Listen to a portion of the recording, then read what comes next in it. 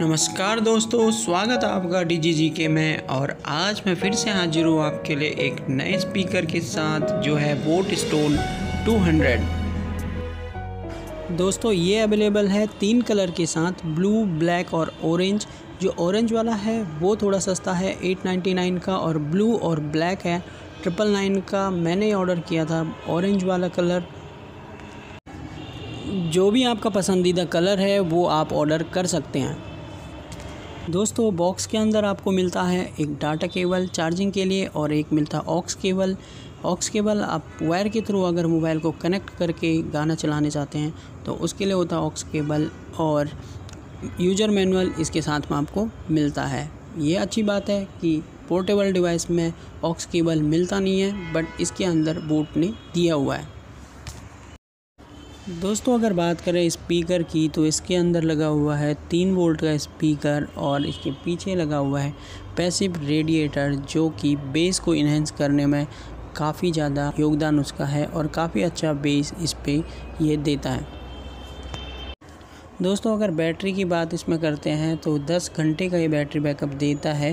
1500 सौ वॉट की इसके अंदर बैटरी लगी हुई है। मैंने खुद इसको टेस्ट किया। मैं खुद इसको अपने साथ लेके गया था ट्रैवलिंग पे और मैंने पूरे रात भर इसको चलाया है तो काफ़ी अच्छा इसका बैटरी बैकअप है।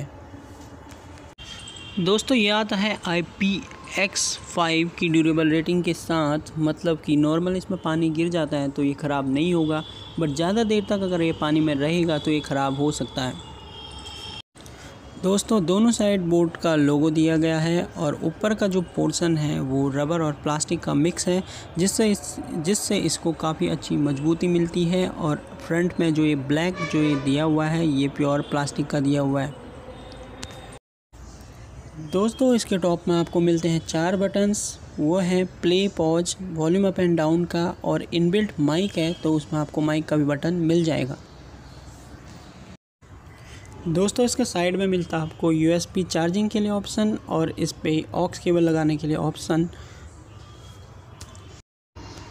दोस्तों, इसके नीचे दिया हुआ है एक छोटा सा स्क्रू जिसके थ्रू आप इसको वॉल माउंट कर सकते हैं।